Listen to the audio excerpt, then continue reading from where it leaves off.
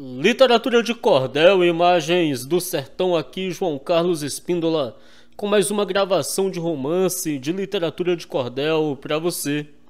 E dessa vez nós vamos ler aqui o cordel de número 273 de um total de mil romances de literatura de cordel que nós pretendemos gravar aqui no canal Imagens do Sertão.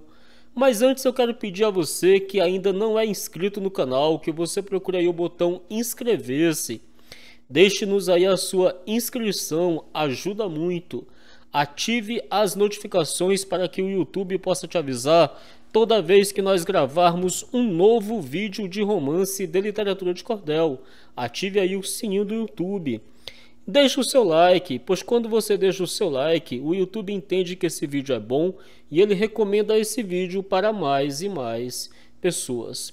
Pessoal, esse vídeo aqui é um romance muito bacana, vai ser um vídeo romance muito bacana do Minelvino Francisco da Silva, que conta a história da peleja do filho do cego Aderaldo com o filho de Zé Pretinho. Veja bem, Aqui no canal nós já temos a peleja do Cego Aderaldo com Zé Pretinho do Tucum. Mas esse aqui não, esse aqui é a peleja do filho do Cego Aderaldo com o filho de Zé Pretinho, beleza? Do autor Minelvino Francisco da Silva. Agora aqui, meus amigos, vou descrever um livrinho. Quem o lê com atenção deve achá-lo engraçadinho. É sobre João Aderaldo com o filho de Zé Pretinho.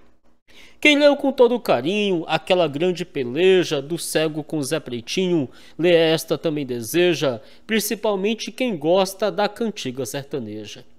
Naquela dura peleja que Zé Pretinho apanhou para o sertão do Piauí, ele triste se mudou e um filho educado na viola ele criou. A vergonha que passou pretendia descontar, mas hoje ou mais amanhã desejava se vingar. O cego mesmo um filho ele queria surrar. Então educou o filho no verso de cantoria para cantar em gramática, história, geografia, para dar no cego ou no filho, lambia o beiço e engolia. Tinha o dom da poesia, era esperto esse negrinho, demonstrava inteligência já desde pequenininho, chamava-se Manuel, tratavam Mané Pretinho. Seguiu a arte do pai, pois nasceu com a cachola, no verso do improviso, tinha juízo de mola, fazia a gente chorar no tinido da viola. Seguindo na mesma escola, o velho cego Aderaldo criava um filho sem pai, por nome de Romualdo, mas outro de nome João, que nunca beberam caldo. O cego educava todos na profissão que amava, desafio de viola, todo dia os ensinava, toda a gente do sertão daquilo se admirava. Ficou João conhecido por nome João Aderaldo, por ser o guia do cego, brincando com Romualdo, mas cantador meia cara, com ele não dava um caldo. Já sendo João afamado em ciência e poesia, com ele ninguém topava, no, ar, no estro da cantoria, no tempero da viola, todo cantador corria. E João lá um certo dia uma carta recebeu da capital teresina, ele lendo conheceu, a notícia deu-lhe o choque, mas o corpo não tremeu. A cartinha que ele leu foi do doutor Agostinho dizendo a João Aderaldo que fosse lá ligeirinho para cantar um martelo com o filho de Zé Pretinho. Aderaldo e o mocinho não estavam em Quixadá, assistiu em Fortaleza, capital do Ceará, cantando nas violinhas igualmente sabiá. A carta chegara lá, mandada desse doutor, dizendo João Aderaldo, mostre agora seu valor, cantar com mané pretinho, assombro de cantador. Mostrando aí do rancor, o cego disse enfesado, meu filho não esmoreça, demonstre ser denodado, sendo ele um savalente, você é leão zangado. Falou João Aderaldo de cantar não tenho medo, ele é tigre numa toca, eu sou leão no penedo. Quem tem unha arranca couro, quem tem dente arranca dedo. No outro dia, bem cedo, tomaram um bom avião para a cidade de Teresina, seguiram na direção, aterrissou, aterrissou nove horas essa linda embarcação. Era grande a multidão, dançando e tomando vinho, era a festa no salão do deputado Agostinho para ver João Aderaldo cantar com Mané Pretinho. Estava Mané Pretinho com a viola sentado, Zé Pretinho constrangido estava também ao lado, lembrando do que sofreu, tinha o rosto enfarruscado. Chamou o cego Aderaldo, trazendo, chegou o cego Aderaldo, trazendo seu filho João. Houve palmas nessa hora, que estremeceu o salão, o povo todo, todo ansioso para ouvir a discussão. O dono desse salão ajeitou com bem cuidado, botou João para sentar-se junto do cego Aderaldo e Mané com Zé Pretinho no sofá do outro lado. Chovia de todo lado, dinheiro naquela hora, o que ganhasse a peleja enricava sem demora, quem perdesse era vaiado, sem a honra ia-se embora. Os cantores nessa hora começaram no baião com duas lindas violas que estremeceu o salão. Zé Pretinho apreciava com ira no coração. Mané Pretinho para João disse, disse: Veja, seu plebeu, você hoje não está na cidade de Pompeu. Quero descontar a surra que seu pai já deu no meu. João assim lhe respondeu: Eu não respeito ninguém. Na arte da cantoria, canto aqui, canto além. O meu pai bateu no seu, hoje eu lhe bato também. Mané, você até canta bem, mas hoje vai apanhar. Doze anos de estudo deram para me preparar. A desfeita de meu pai, no teu lombo vou vingar. João. Gastaste para te formar só 12 anos de estudo, eu estudei 15 anos, te vejo muito miúdo, vou fazer tu engolir viola com corda e tudo. Mané. Você hoje fica mudo se pegar me aborrecer, faço o céu ficar escuro, faço corisco descer, faço água virar pedra, faço pedra derreter. João. Eu faço você correr, não passe o pé pela mão, pois chegando a minha ira, me transformo no vulcão, acabo com Piauí, da capital ao sertão. Mané, tu te acabes na prisão, se assim continuar, arrotando valentia, teu couro eu vou arrancar, depois do meu cinturão eu mando te encarcerar. João, eu hoje vou te surrar, até mesmo na cozinha, emboco, emboco atrás se entrares, na porta da camarinha, você veio sendo galo, mas volta sendo galinha. Mané. A vitória já é minha, porque na luta não corro. O seu pai bateu no meu, mas eu vou tirar o forro. Ficará João Aderaldo mais baixo do que cachorro. João. Sob o serra desce o morro, atrás de um cantador fraco, com esse mané pretinho, cuja viola é um caco. Ele hoje faz careta, pula mais do que macaco. Mané. Você irá ao buraco se quiser me abater. Eu quebro sua viola, eu faço você correr, comendo pau pelas costas para todo mundo ver. João, só para te conhecer, deixei de ir a Belém. Te olho, só vejo um vulto que não passa de ninguém. Do jeito que você canta, cachorro canta também. Mané, de mim não faça desdém, seja homem de valor, também vou me defender. Quem geme é quem sente a dor. Da forma que você canta, meu cachorro é cantador. João, se tu estavas com dor, para que veio cantar, chamasse logo a parteira para a criança pegar. Não aguenta, bota outro para apanhar no teu lugar. Ouviu-se o salão zoar de risos e gargalhadas, velhos, moças e rapazes soltaram tantas risadas que os cantadores ficaram com as violas paradas. Moças que estavam sentadas rolaram até pelo chão, deram tanta gargalhada que parecia trovão. Aderaldo e Zé Pretinho pouco, pouco davam opinião.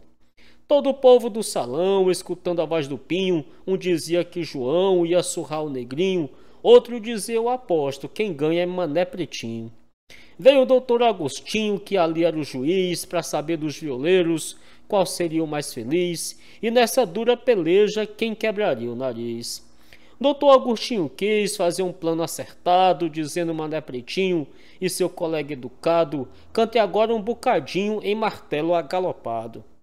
Mané, no momento que estou aborrecido, faço as águas do mar todas ferver, faço o globo terrestre derreter, faço o mundo ficar enegrecido, deixo tudo no mundo destruído, deixo o eixo da terra revirado, deixo o globo todinho esbagaçado, e qualquer que conhece o pergaminho, aprecie já diz Manuel Pretinho, está cantando o martelo agalopado. João, Quando eu canto martelo a terra treme, cai estrela, corisca e cai o sol, até mesmo o clarão do arrebol escurece que até a lua geme, quem é branco fica preto, roxo creme, faço o vento ficar paralisado, cai pedaço do céu todo gelado, faço coisa que faz até o ru, nessa hora pegando o cantador, o esbagaço no martelo agalopado. Mané, Brevemente eu irei ao Ceará e assim que chegar em Fortaleza, eu arraso a cidade com certeza. Depois disso eu viajo a Quixadá, vou pegar um poeta que tem lá, que me dizem ser muito desastrado. O seu nome é um tal João Aderaldo, que só vive arrombando valentia. Vou tirar-lhe o bigode nesse dia, no martelo de dez agalopado. João, se tu fores um dia a Fortaleza, te aviso que vá bem prevenido, benza, benza o lobo e também o pé do ouvido, pois a surra já tens como certeza, ninguém lá quer fazer uma defesa, em que Xadato chegando está furtado, toma sova depois de encarcerado, para voltar não acertas o caminho, diz o povo que viu Mané Pretinho apanhando no martelo agalopado. Mané, meus senhores que estão apreciando hoje aqui essa nossa cantoria, este homem do cão já foi vigia e agora está aqui me aperreando, o meu sangue já está se agitando, hoje eu deixo este cabra derrotado para deixar de ser tão desaforado, rasgo roupa, arrebento-lhe a viola, deixo ele implorando mais mola, na matéria de dez agalopado. João, Hoje eu faço tu comeres a viola, com bordão, com os trastes e craveira, com a prima segunda e com terceira. Hoje aqui tua sorte descontrola, a cabeça no chão se desmiola. Eu te deixo na rua treslocado para ver que o cantor João Aderaldo de repente tem rima e tem juízo. Tem talento no verso de improviso, na matéria de dez agalopado. Mané. Nobre, no, nobre povo que aqui está presente, este homem parece caipora ou a cobra que mordeu Nossa Senhora. Preciso dar-lhe um banho de água quente. Esse bicho não tem sangue de gente, parece o sovaco de aleijado, o cangote parece um sapo inchado, cada orelha dá um leque de abano, o nariz é um bico de tucano, quanto leva um martelo agalopado.